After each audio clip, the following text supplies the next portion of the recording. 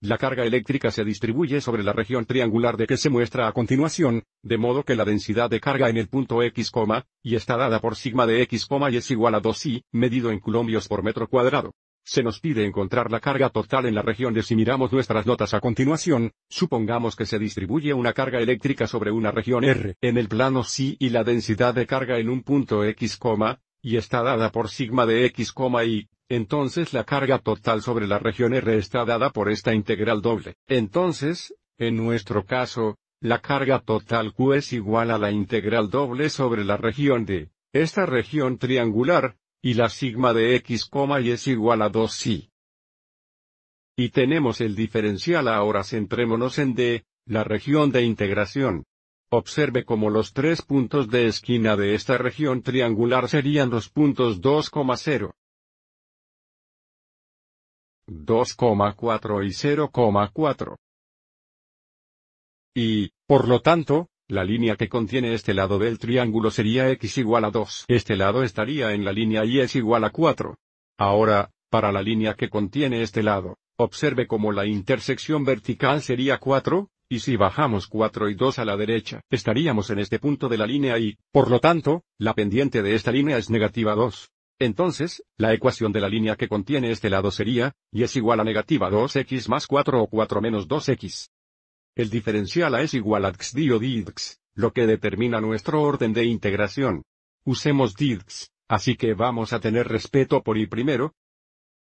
Entonces con respecto a x, con respecto a y, queremos ver qué ecuaciones unen esta región arriba y abajo.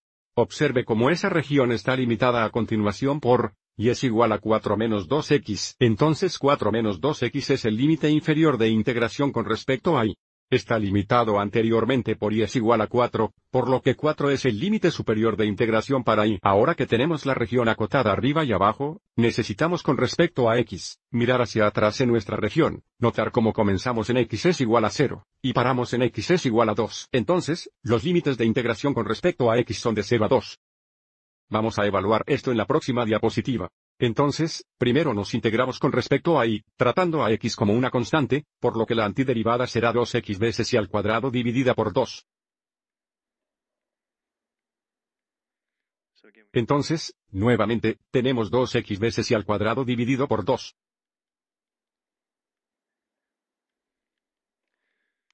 Podemos simplificar la antiderivada. 2 dividido por 2 se simplifica a 1.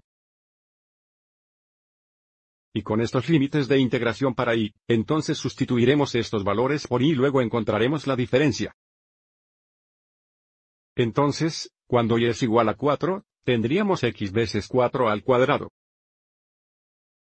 Y luego, cuando y es igual a 4 menos 2x, tendremos x veces la cantidad 4 menos 2x al cuadrado.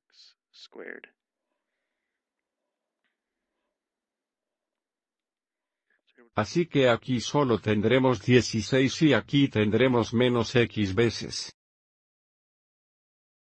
La cantidad 4 menos 2x al cuadrado será 16 menos 16x más 4x al cuadrado.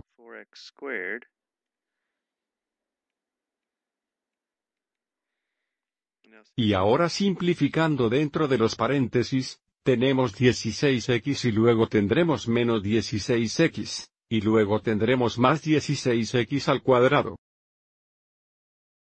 Y luego tendremos menos 4x al cubo. Y observe como aquí, 16x menos 16x sería 0. Entonces ahora tenemos la integral de 0 a 2 de solo 16x al cuadrado menos 4x al tercero. Y ahora nos integramos con respecto a x. Entonces tendremos 16 veces x al tercero dividido por 3 menos 4 veces x al cuarto dividido por 4. Vamos a simplificar esto y tenemos 16 3x al cubo menos x al cuarto. Entonces, cuando x es 2, tenemos 16 3 veces 2 al tercero. Menos 2 al cuarto. Y luego menos, Observe cuando x es 0, ambos serán 0. Y esta diferencia sale a 83. Que será aproximadamente 26.6667. nuevamente, esto es cargo, por lo que serían coulombios.